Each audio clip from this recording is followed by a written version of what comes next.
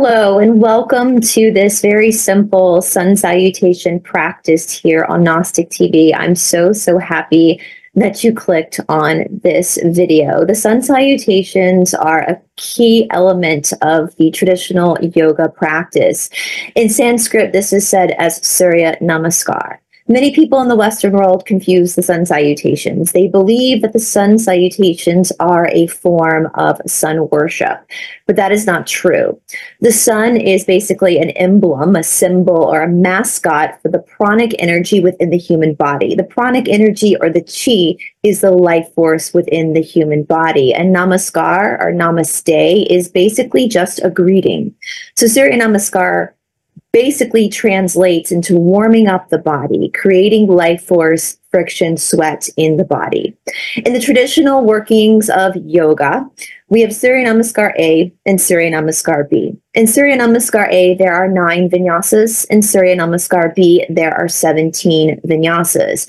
Vinyasa basically means a choreographed movement with breath, an on purpose movement with breath. The inhalation is correlated directly to the pranic or rising energy, the sun energy of the body, as the exhalation is correl- correlated to the aponic or lowering energy in the body. We will do a video very soon on this series where we explain all of this in great detail the energy that you're working with, the pranic, the aponic, the hatha energy that is working within the body that you are actually juggling within physical exercise. Now, as always, please, please, please be very careful. Please speak to your doctor before doing this or any other exercise routine. In my opinion, the sun salutations are some of the greatest exercises that we can do. Sun salutations themselves can be their own workout, their own practice.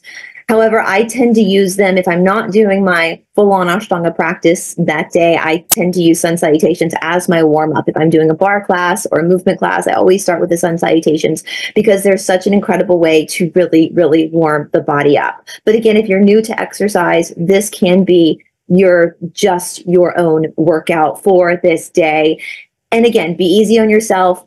Watch your mind. When your mind gets frustrated, just observe it acknowledge it, and try to stay. Try to go a little bit further. If you have any questions about the sun salutations or any other topic in this series, please feel free to reach out to me at gnostictvbrice at gmail.com. I hope you guys have a wonderful, wonderful practice.